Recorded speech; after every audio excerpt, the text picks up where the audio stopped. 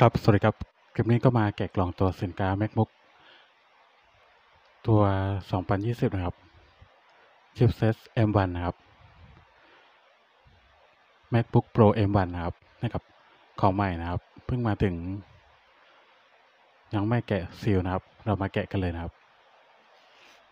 แกะง่ายนะครับ ไม่ต้องใช้คัตเตอร์นะครับ แค่ลอกแถบตัวนี้นะครับ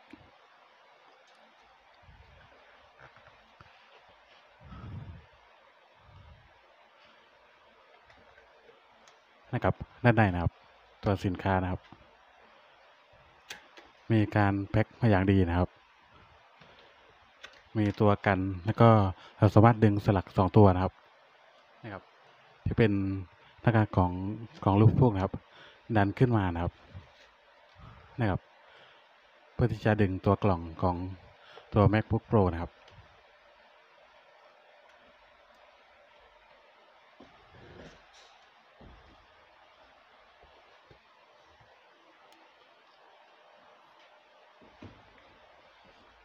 นะครับก็คือตัวสินค้า macbook pro m1 นะครับ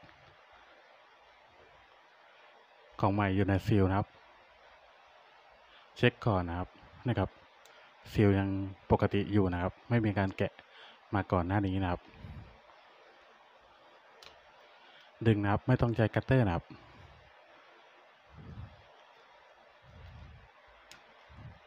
ก็แกะ ตัวซีลพลาสติกออกนะครับ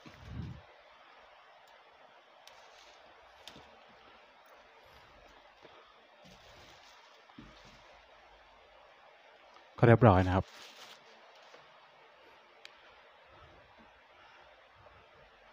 ก็ดึงตัวฝากล่องด้านบนครับ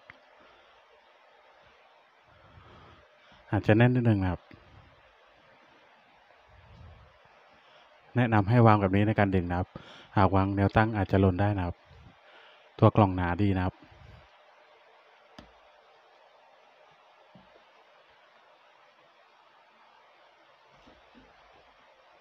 ได้กลินกล่องใหม่นะครับ แล้วก็มีตัวสลักดึงตัวเครื่องนะครับ นะครับ หนักพอสมควรนะครับ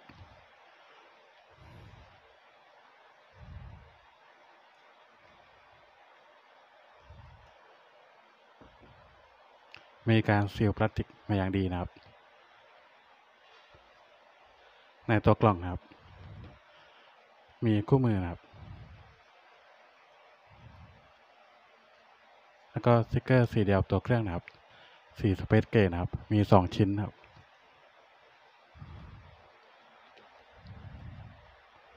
ตัวอะแดปเตอร์นะครับ ขนาดใหญ่นะครับ มีน้ำหนักพอสมควร 61 วัตต์นะครับ USB Type C Power Adapter นะครับนะครับ Type C นะครับ แล้วก็สายชาร์จนะครับ Type C นะครับ C to C นะครับ ก็มีแค่นี้ในกล่องนะครับ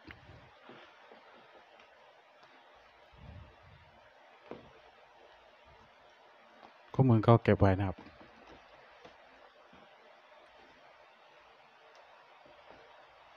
อย่าลืมดูสเปคด้านหลัง ตัวกล่องแล้วก็ตัวเครื่องนะครับ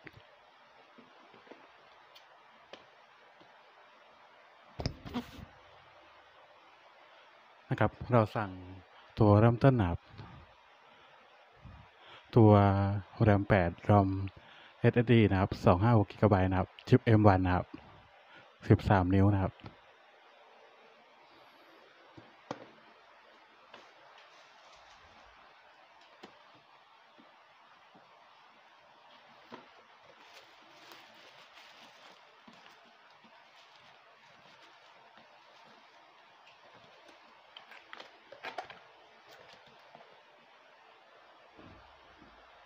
ตัวกล่องแล้วก็ซีลเก็บไว้ให้ดีนะครับ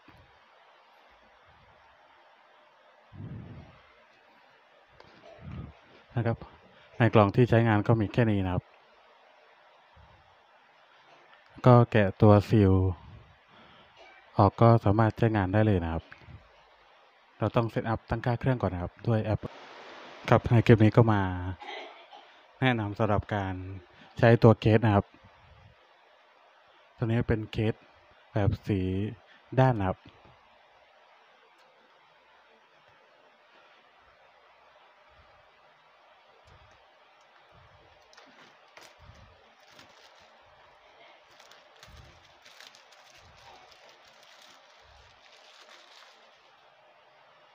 นะครับ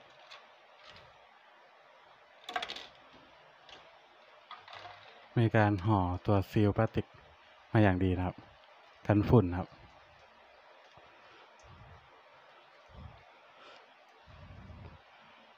เป็นเกสรุ่น 13 นิ้วตัวโปรนะครับ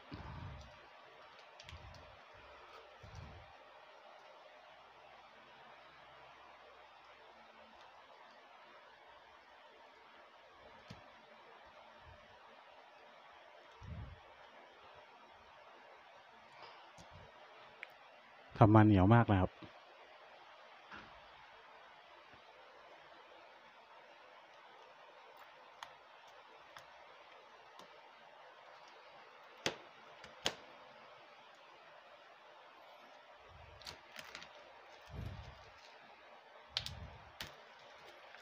ก็ดีนะเพราะว่ากันฝุ่นนะครับ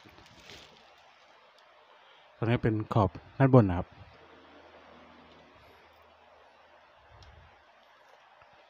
เราต้องแกะตัวซีลพลาสติกของตัวเครื่องออกก่อนครับ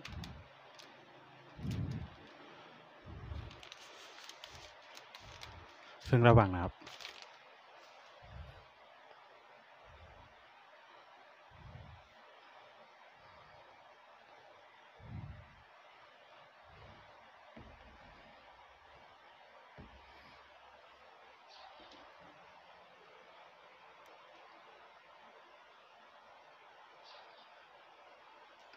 สำหรับการใส่ก็ปกตินะครับ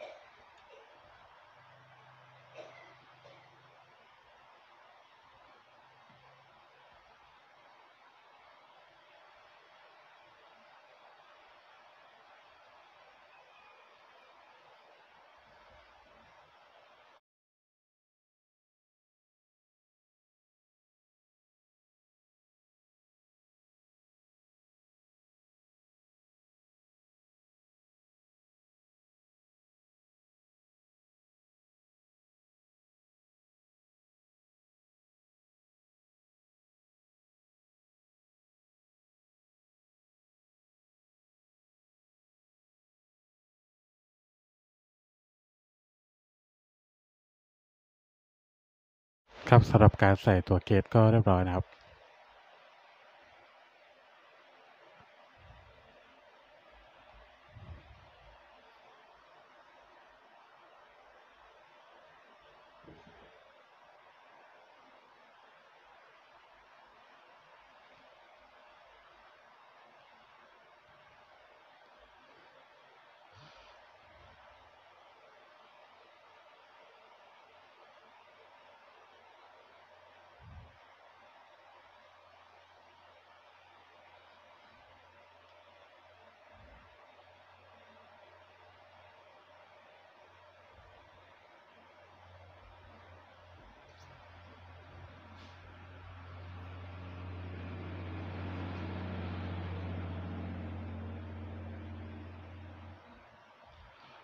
มาปิดฝาครับ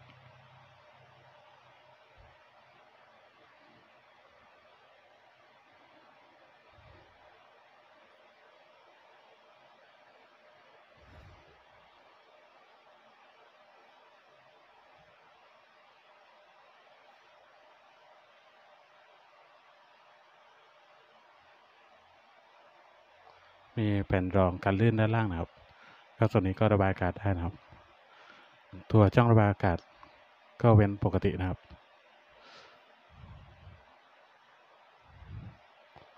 ตัวเครื่องก็มีพอร์ตแจ็ค 3.5 นะครับ แล้วก็ Thunderbolt 2 พอร์ตนะครับ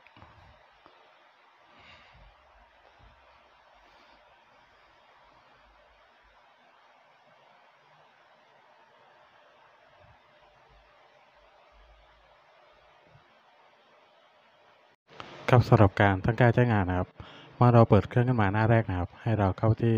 ในส่วนของการเลือกภาษานะครับ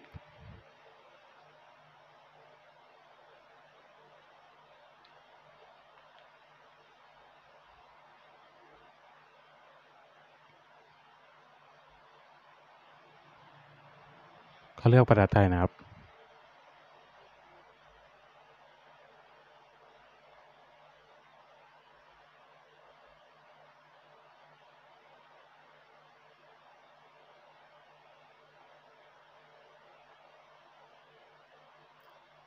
จากนั้นเลือกลูกศรถัดไปนะครับ ระบบก็ให้เลือกภูมิภาคนะครับ ก็เลือกประเทศไทยไปนะครับ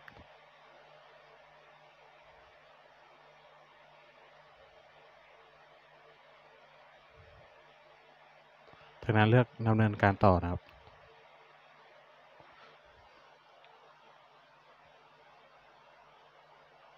ตัวช่วยการเข้าถึงก็เลือกไม่ใช่ตอนนี้ก็ได้นะครับ ก็เลือกไฟล์ไฟล์ที่เราต้องการเชื่อมต่อนะครับก็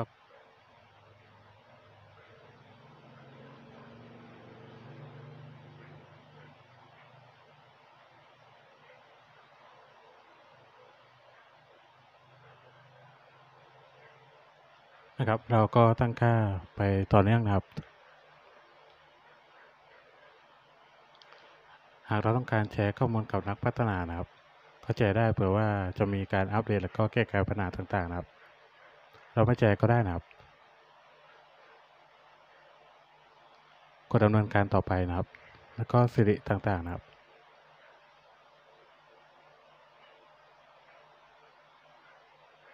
หวัดดีสิริหวัดดีสิริ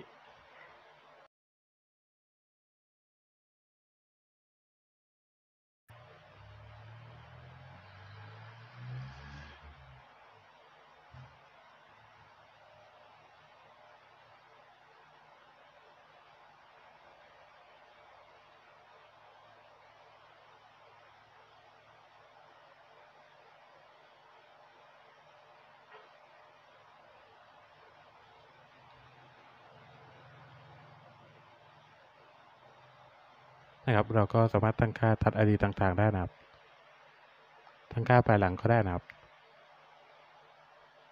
หากต้องการตั้งค่าก็ดำเนินการต่อนะครับ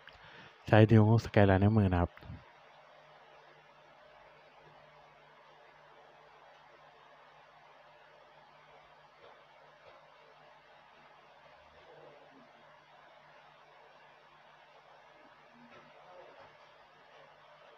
เรียบร้อยแล้วนะครับ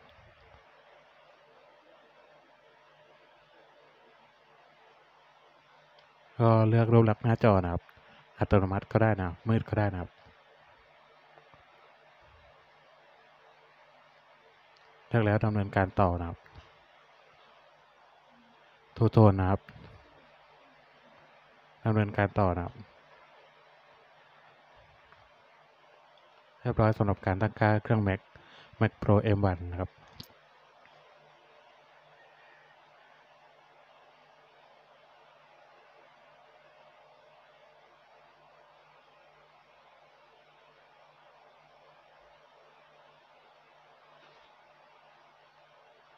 ครับเข้าไปเช็คเกี่ยวกับแพ็คเครื่องนี้นะครับนะครับ Mac Pro M1 13 นิ้วนะครับ8 GB นะครับ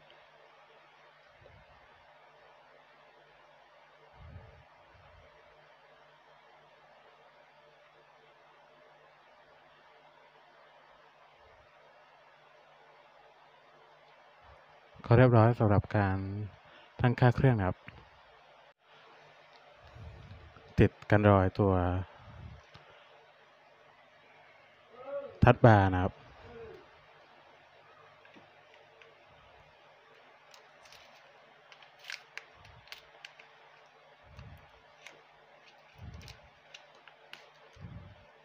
นะครับ เป็นตัวกันรอยทัดบาร์นะครับ ก็ตัวสแกนลายนิ้วมือด้วยนะครับ มีมาให้ด้วยนะครับ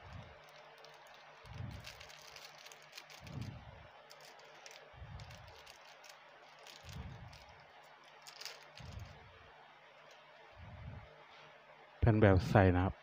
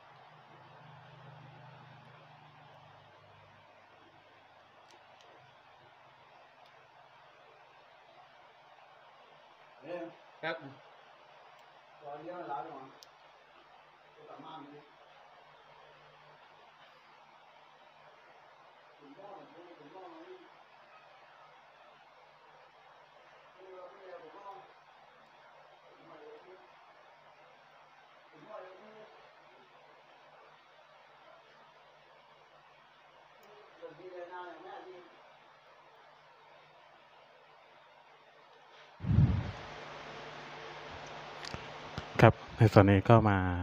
แนะนำตัวติดการรอย ตัวแตกแปดแล้วก็ขอบด้านในนะครับ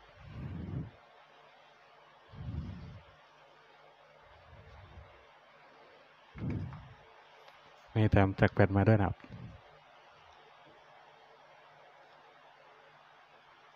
สีเดียวกับตัวเครื่องนะครับ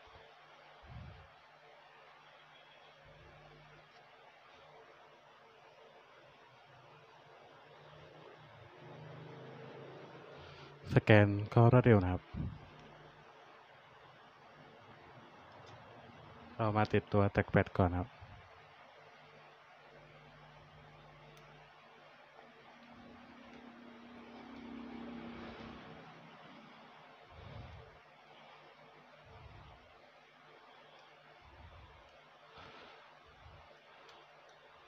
ตัวแตกแปดก็ค่อนข้างหนานะครับ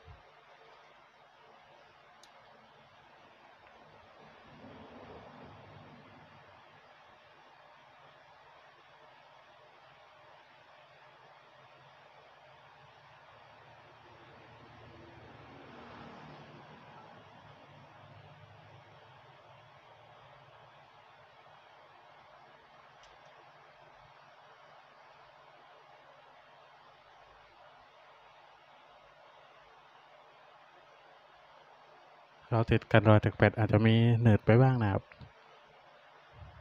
ก็ใช้งานได้ดีนะครับ ลองสังเกต cursor นะครับ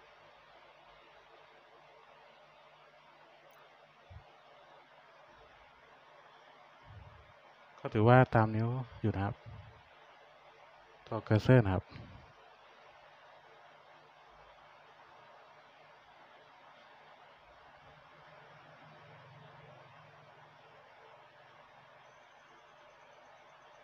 นะครับ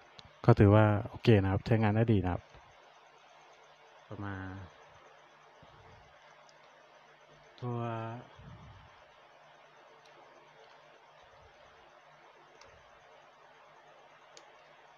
ตัวนี้ก็ใช้ได้นะครับ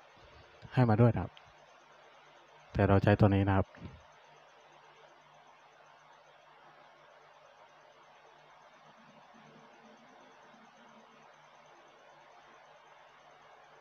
เจอปัญหาสำหรับ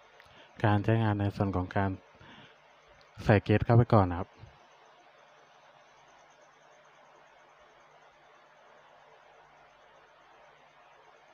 ว่าดูเหมือนจะไม่ครอบคลุมในส่วนของตัวที่ใส่เกจนะครับ แต่ไม่เป็นไรนะครับ เพราะว่าหากเราใส่ตัวนี้เข้าไปความหนาอาจจะทำให้ใส่เกจลำบากนะครับ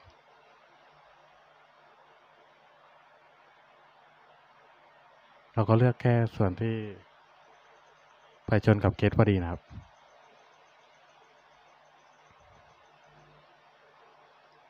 ติดจาก เราสามารถติดจากมุมไหนก่อนก็ได้นะครับ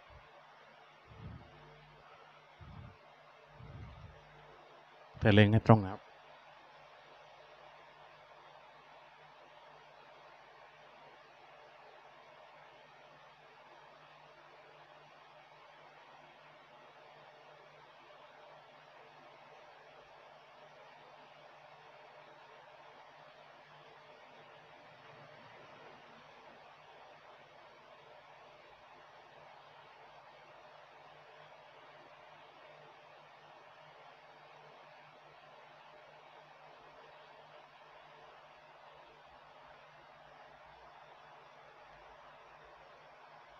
นะครับ ส่วนนี้ต้องระวังนิดหนึ่งนะครับ แนะนำให้ยกขึ้นมาก่อนนะครับ ก็ดึงสติกเกอร์ออกแค่นี้นะครับ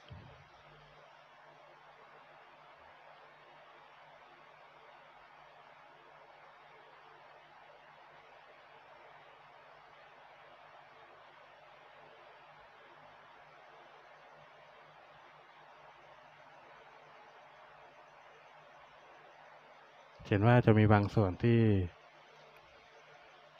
ขาดไปนะครับก็ไม่เป็นไรนะครับ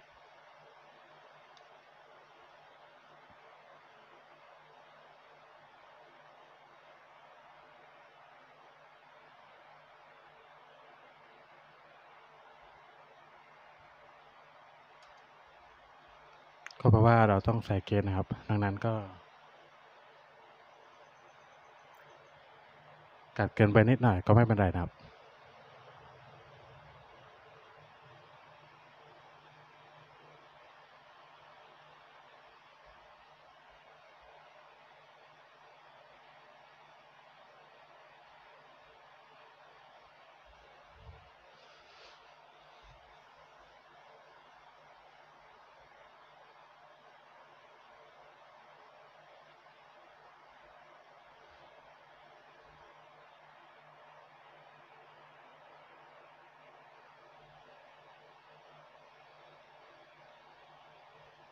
อาจจะเบี้ยวไปนิดหนึ่งนะครับ ก็ไม่เป็นไรนะครับ เราแก้กันรอยนะครับ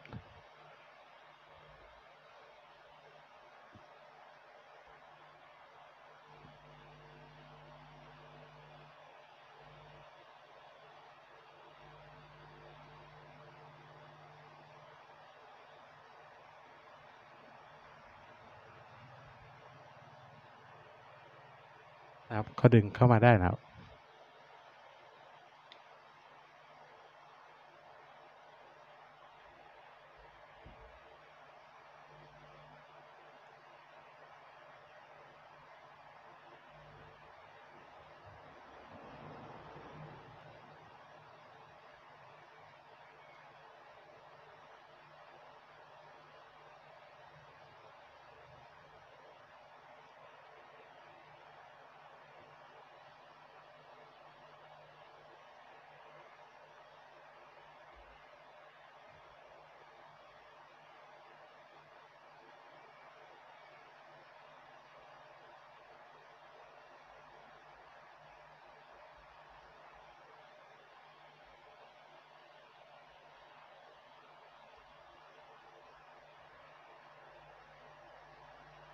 ก็ปรับให้ได้ตามต้องการครับ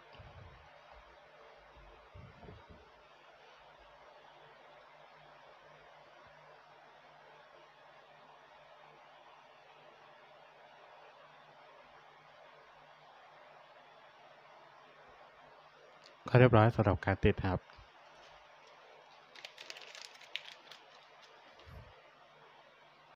ครับสำหรับอีกชิ้นหนึ่งที่น่าสนใจสำหรับการใช้งาน macbook ที่น่าจะมีหรือว่าบางคนสนใจนะครับ ก็คือตัวกันฝุ่นตัวแป้นคีย์บอร์ดนะครับ ก็คือตัวนี้นะครับ เราซื้อตัวที่ไม่มีตัวอักษรนะครับ เป็นแบบใสนะครับ ก็มีเว้นช่องสำหรับตัว Mac Pro M1 นะครับ แบบใสแบบนี้เลยนะครับ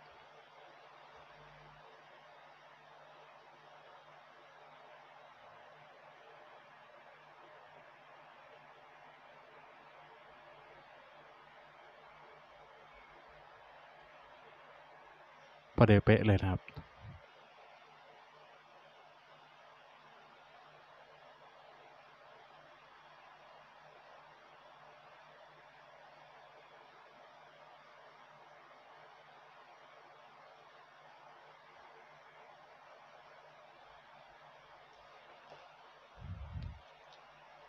นะครับก็หาซื้อกันได้นะครับ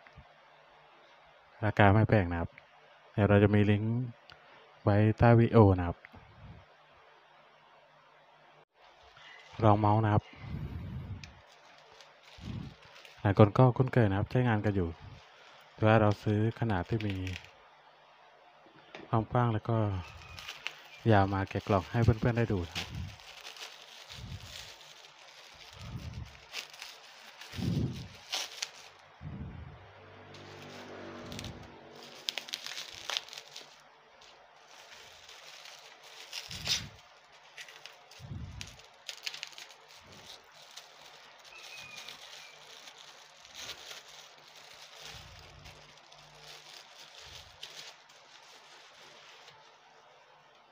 นะครับ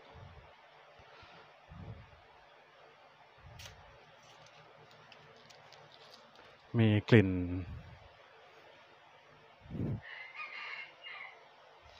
ยาง ก็ไม่ได้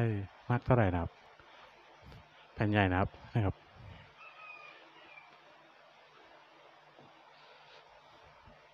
เราซื้อสีดำนะครับ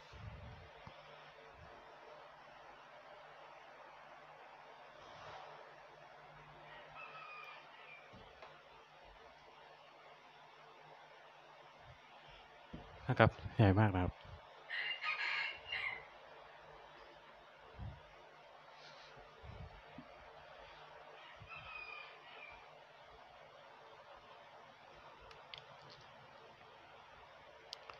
นะครับก็ถือว่าโอเคเลยครับสำหรับการลองใช้งานโน้ตบุ๊กต่างๆ นะครับ ตัวอย่างระหว่าง MacBook นะครับ ก็ถือว่าโอเคนะครับ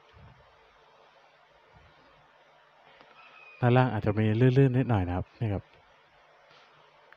แต่ก็ไม่ได้เป็นปัญหานะครับ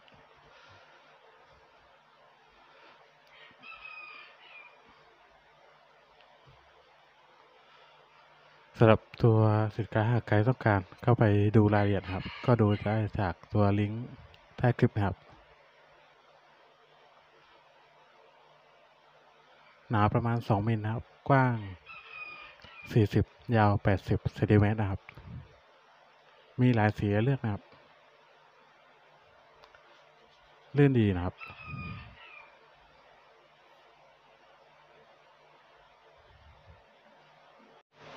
ครับเรามาแกะกล่องตัวสแตนสำหรับตั้งตัว MacBook นะครับหลายคนอาจจะคุ้นเคยนะครับแบรนด์เนลคินนะครับ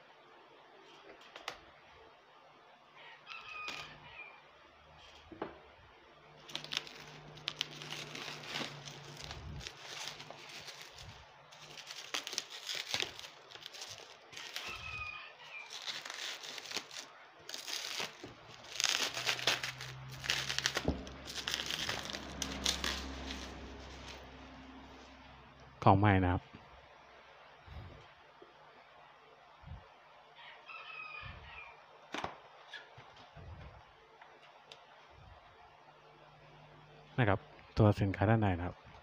เป็นสแตนเลสน้ำหนักเยอะนะครับ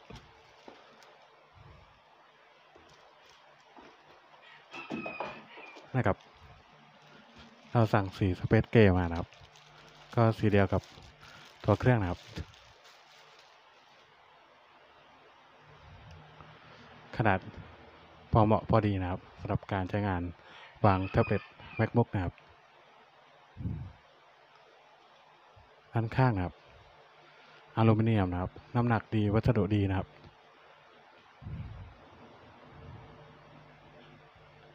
แน่นนะครับเราวางได้หลายระดับนะครับจะวางลักษณะนี้ก็ได้นะครับ หรือว่ายืดตัวขาให้สูงขึ้นอีกก็ได้นะครับ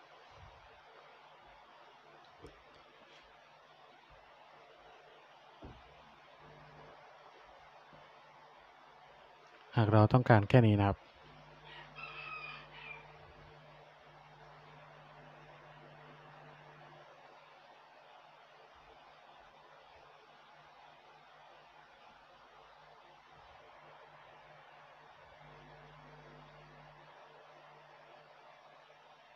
นะครับ แค่นี้ก็ได้แล้วนะครับ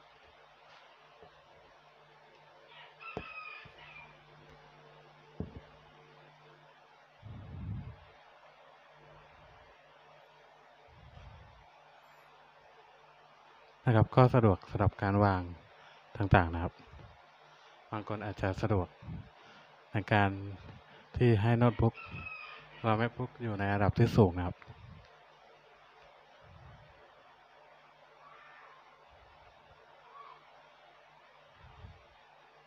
ก็ถือว่าสะดวกนะครับ แล้วก็ราคาก็เหมาะสมกับวัสดุนะครับ เราไม่ต้องกลัวเป็นรอยหากเรา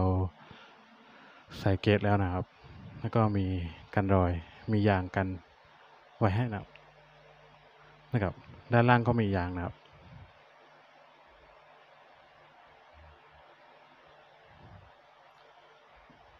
ถือว่าโอเคมาก ๆ นะครับ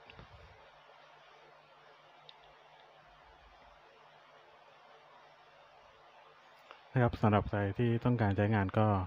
ลองดูนะครับ ด้านข้างครับ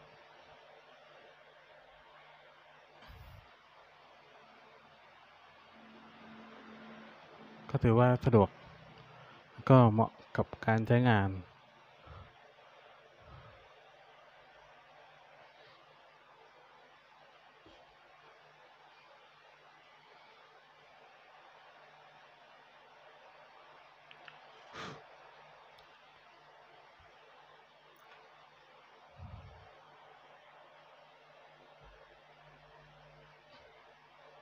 นะครับสำหรับใครสนใจก็ดูลิงก์จากใต้วิดีโอได้นะครับ เดี๋ยวเราให้ดูมุมด้านข้างนะครับ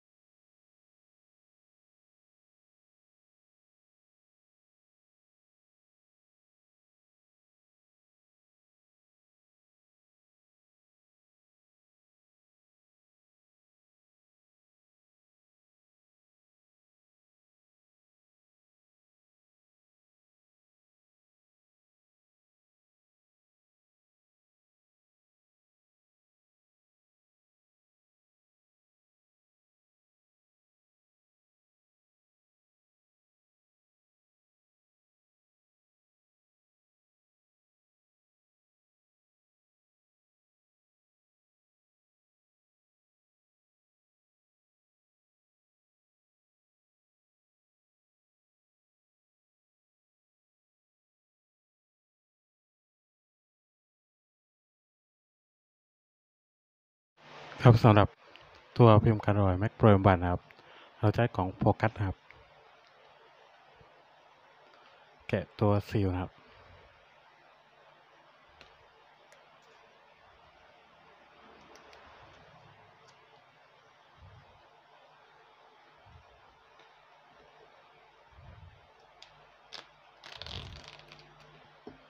นะครับ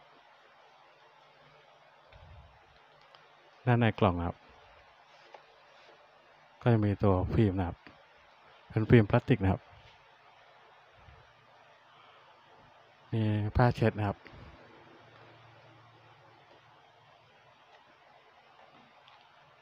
นะครับ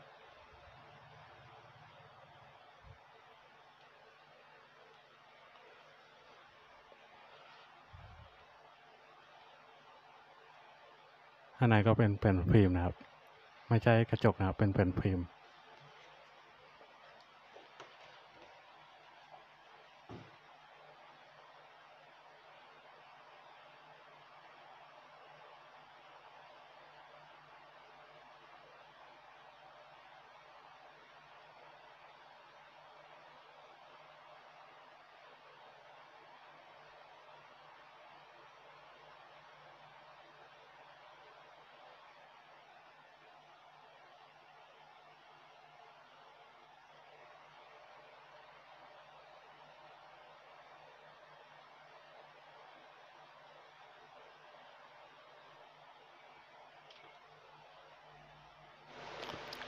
ครับสำหรับในส่วนของตัว Magic Mouse นะครับ ใช้กับ MacBook Pro M1 นะครับ ตัวนี้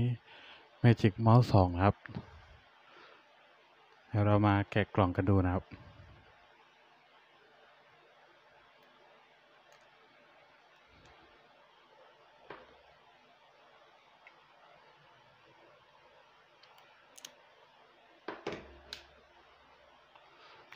ซื้อจากร้าน Apple Store ใน Shopping ออนไลน์นะครับ เป็นร้านทางการร้านมอลนะครับ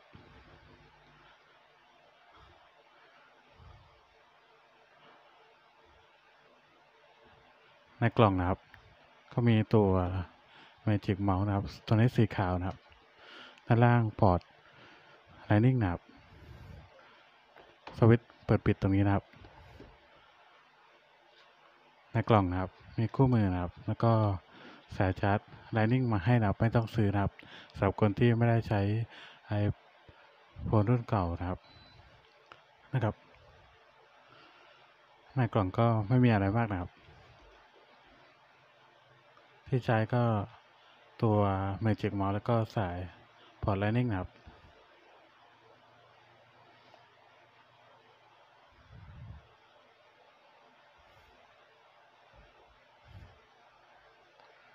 น้ำหนักก็พอสมควรนะครับ สะดวกดีนะครับ ใช้กับแผ่นรองเมาส์ที่เราซื้อมาก็โอเคนะครับสำหรับการชาร์จนะครับ ชาร์จกับตัวอะแดปเตอร์มือถือนะครับ Lightning ตัวนี้นะครับนะครับ โอเคเลยนะครับ สะดวกดีนะครับ เปิดใช้งานเชื่อมต่อนะครับ กดสวิตช์ด้านล่างเพื่อเปิดนะครับ แต่ยังใช้งานไม่ได้นะครับ เราต้องไปเชื่อมต่อบลูทูธนะครับ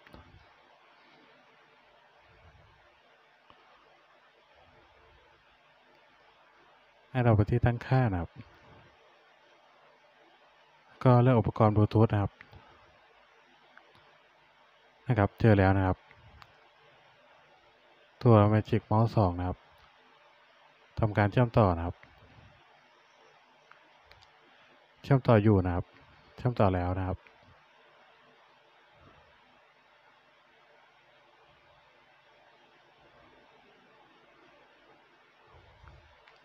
นะเรียบร้อยนะครับ cursor เลื่อนได้แล้วนะครับ นะครับ อย่างที่เห็นในหน้าจอนะครับ นี่ครับ เห็น cursor ไหมครับ การตอบสนองก็โอเคนะครับ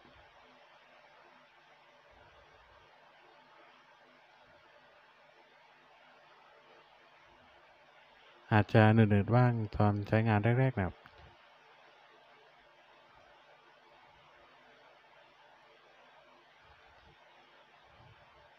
นะครับก็ถือว่าโอเคนะครับ ใช้งานได้ดีนะครับอาจไม่คุ้นเคยสำหรับคนที่เพิ่งใช้งานนะครับ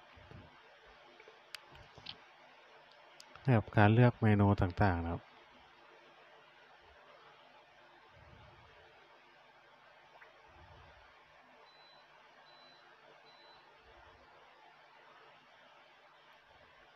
นะครับการเชื่อมต่อมอสก็ประมาณนี้นะครับ